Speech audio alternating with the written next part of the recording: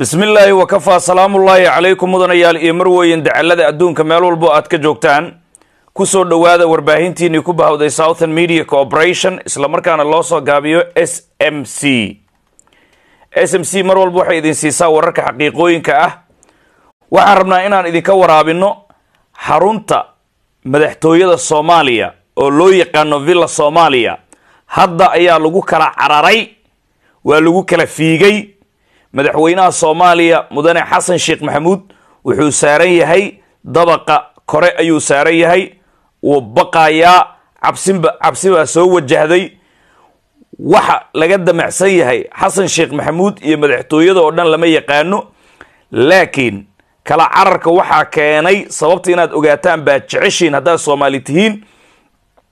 Xarunta waxaa soo galay saacada ka hor wasiiro ka soo horjeeda mahad salaad maadaama sharcigii ha laga noqdo qaarkood ay taagan yihiin baarlamaanka iyo golaha wasiiradoo isku daaban meesha khilaaf xooggan baa ka dhashay.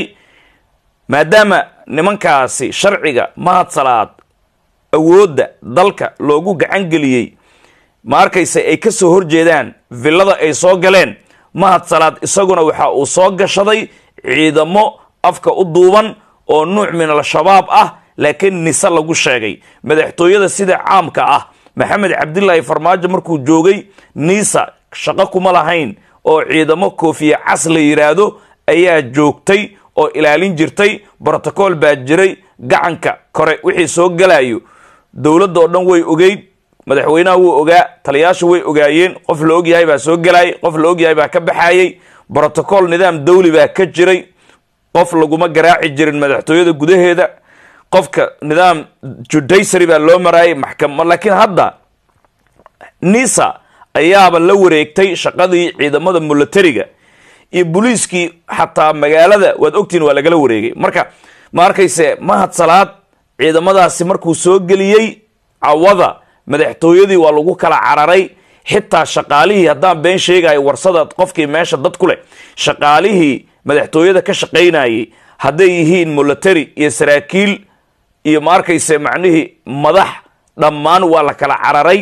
Baasha hadda way haawanaysaa. Madaxweynaha soomaaliyana wuxuu saaran yahay qeybta kore ayuu hadda saaran yahay. Wadnaha ayuu farta ku hayaa wuu cabsanayaa. Armaa lagu dilaa buu is leeyahay maxaa yeelay hadda ka horna waa la sigay xasan sheekh maxamuud oo waxaa weeye maalin cad ayaa la dili gaaray haddana kolley armay idin dilaan. Nimankan armay ku dilaan. Qalbigiisa waa ay ku jirtaa xasan sheekh maxamuud arrintiisa meeshay madhay. Magaalada baydhabo maalintii shalay ahayd taagtaag ayaa ka dhacay. Xerada qeybta lixdamaad militariga gobolka baay fadhigeedu yahay qeybta lixdamaad guutooyinka ka howlgala shabeellada hoose bakool iyo baay. Ku qoran niman hawiye ah oo taliya urureedyo ah. Wixii taliye hawiye qeybtan lixdamaad baana laga xukumaa dhihi jiray dhammaantood ninkii mareexaanka ahaa oo damujidiid u shaqaynayay lagu magacaabo. Sanka ayaa u yeedhay oo islamarkaana ay seedi yihiin ama abtiyaal ilmihiisii ama ugu beegan.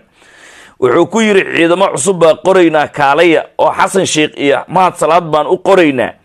Sanka waa tii buurey uu tegey islamarkaasna sideed gaari oo ciidamada militariga maryland iyo saraakiisha ay ka daba baxeen kadibna maxaad meeshan ka qabanaysaan?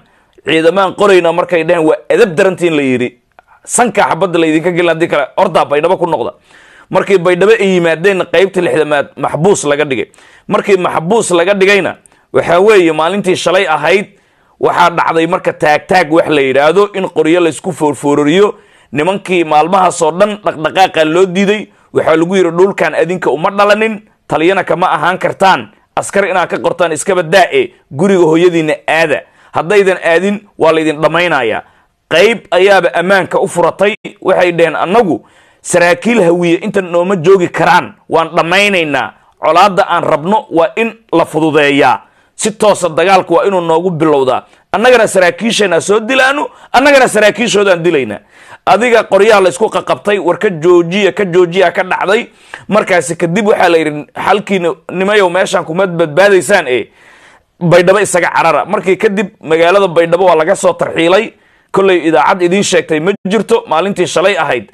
Wixii saraakiil hawiye sheeganayay oo meeshaasi sanka uu ku ururiyey way soo macnihi waa la soo tarxiilay. Muqdishay isku soo shubeen xalay muqdishay seexdeen way isku aamini waayeen. Meer kale ninka la leeyahay sanka nafsadiisii xalay oo dhan ilaayo maanta wuu baqaayey xeraduu ka soo bixi waayey xaarkaa ka socda war nimankan armay ku dilaan digil iyo miriflaha soo jeestay ayuu xaalku maraya marka buule buulihiisi ma ahan magaalada baydhabona xaalkeeda meeshaasi ayuu marayaa dhanka mulatariga de ciidamona wixii ma arkaysa abkay ilmo maxamed raxweyn ahaa ooday soo jabsadeen.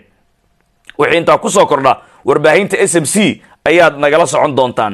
Madaxweynaha soomaaliya mudane xasan sheekh maxamuud hadda isagoo kaadidu ay ka socoto uu cabsanayo ayaa wuxuu saaran yahay dabaqa koobaad macnii dabaqa villa soomaaliya. Ciidamaa la soo geliyey mahad salaad ayaa ciidamo soo geliyey.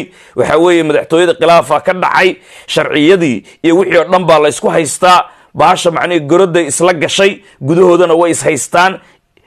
Soomaali oo dhanna way haysataa sheekada marka waxay u badan tahay. Bug qaraxyo fara badanna maalmihii u dambeeyey magaalada waa la soo geliyey. Lacalla xasan sheekh maxamuud haddii dhinacaasi uu aado si magaalada bug haddana bug bug bug haddana bug ay u tiraahdo marka heesta markaan samaynaynay haddana bug bug waxaa weeye waxaa ku jirtay baraflaha bug xasan baraf bug bugta nafsadeeda bug bad iyo beri bug bani aadamka bug wada bug madaxtooyaday taagan tahay bugta caaw